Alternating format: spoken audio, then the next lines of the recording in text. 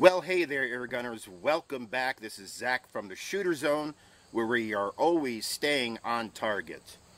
Well, okay, I've been waiting for this one for a while. I gave you a review on the Gauntlet 22 caliber. Now we have today the Gauntlet in 30 caliber. A lot of people have been raving about this rifle. Um, what I have shot through it so far, I love. So we're going to uh, put some rounds through it today and see what it does. I have the chronograph set up. Um, I am going to do at least one or two more reviews on this. Today I just want to give you the fine bits of it. Uh, I want to go through this and work on the trigger a little bit and adjust that and do a couple other little things before we really get down to the nitty gritty. Um, but let me kind of tell you a little bit about it today. I'm just going to go right off of the Umarex site here. It says this, velocity with lead 44.75 grain pellets runs 1,000 feet per second or 99 foot-pounds. Again, we're going to check that today.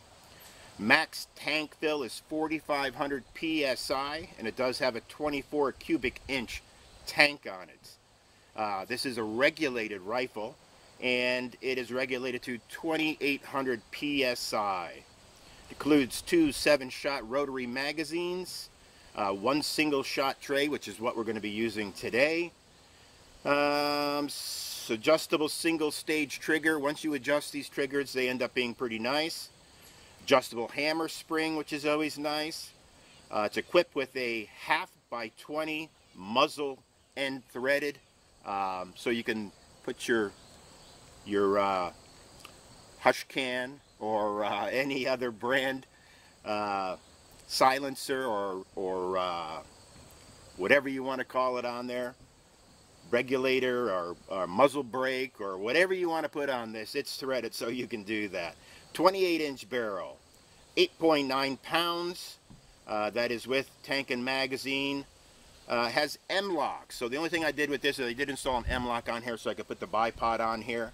Uh, and that's pretty much it for this. Does have adjustable cheek piece. Um, Yep. And uh, does have the fill port already included in part of that, so that's always nice. We do have today the 4x24 uh, 50 millimeter Axeon scope. This thing is beautiful. Uh, it does have a lit reticle too if you want to use that. Red, green, red, green, blue, pretty sure. I don't typically use them, but it's there. Some people love them.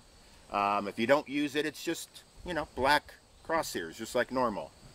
Um, does have lockable positions on the height adjustment and also the right and left adjustment, which is nice. Once you get it locked in, you just push them down and it'll stay in that position. What else do we have here? I think that's it for now. 30 millimeter tubes, by the way. So this way, if you order this scope, it doesn't come with a uh, with scope mounts. You have to make sure that you order 30 millimeter tube mounts. Um, so that's something you're going to need to know so you're not sitting there holding this scope with no mounts to put it on. All right, so what are we going to do here? Again, I have the chronograph set up. I have the target out at 40 yards. We're going to put three rounds through it just to see uh, what it does. This is, it's pretty loud. So uh, again, you're going to want to put some sort of uh, suppressor on it of some sort. Um, again, I'm waiting for the adapters for mine for my hush can. And today we're just going to be running the JSB Exact Diabolo 30 caliber through it. Uh, I do have some Flanagan 69 grain boat tails, but I want to wait and I want to make sure that uh, I do fine tune the trigger first and just have this gun set up the way I like it before I run those through it. Flanagan pellets um, and Flanagan slugs, both are great. Ball ammo too, depending on what round you get. But Flanagan stuff is probably some of the most affordable stuff out there and it is high quality, so keep them in mind. That's it, I think, for right now. We're going to put some rounds through this and see what happens. I need to go out there and I need to turn the camera on for that, and then we will go from there. So, hey, hang out for a minute, and I'll be right back. All right, I am back. Again, we're going to put three rounds through this. Crony is set up. Slow the pellet in there.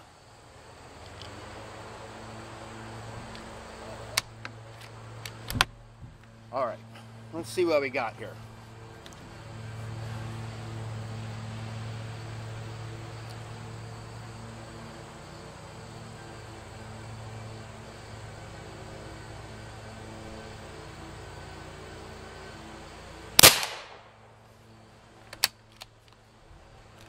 One, and we're gonna put three through this.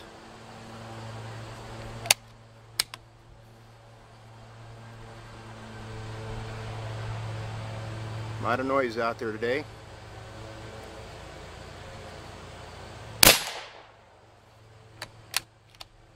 Two.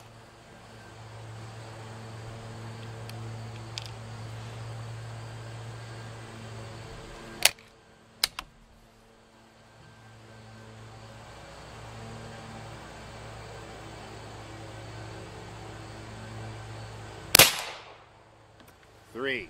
Okay, so we got one hole, 40 yards. Um, of course, it's not perfectly round 30 caliber hole, but one hole at 40 yards. Uh, again, this thing is, is accurate. It's everything everybody has said. We are running 998 feet per second on that last shot. Um, we were not filled all the way up. We were filled to about 4,000 uh, PSI, but again, it's regulated at 2800, so that shouldn't matter. So this thing does exactly what Umarex says it does. This scope is superb.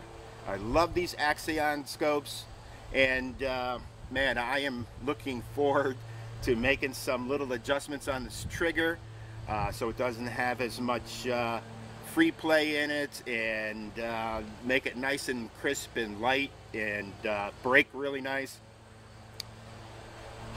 I mean, what could I say that I already haven't? This thing is uh, everything they said. It's an excellent gun.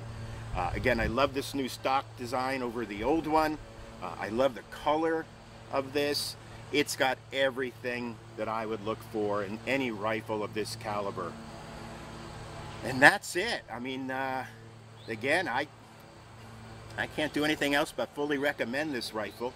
Um, again, this is video one of this, video one, review one, and uh, I'm going to try to get back here probably the beginning of next week after I do some adjustments and do this again. Hurricane is coming up from Florida. We're going to get some rain over the next few days, and uh, so I need to let that blow by. But hey, if you haven't subscribed to us yet, please click that little button below. It helps us out tremendously. If you haven't been on our page on Facebook, it's the Shooter Zone on Facebook. Look that up. Like and follow the page. That helps us as well. Um, that's it. Again, look forward to seeing you next time. Take care. Be safe. Do lots of shooting.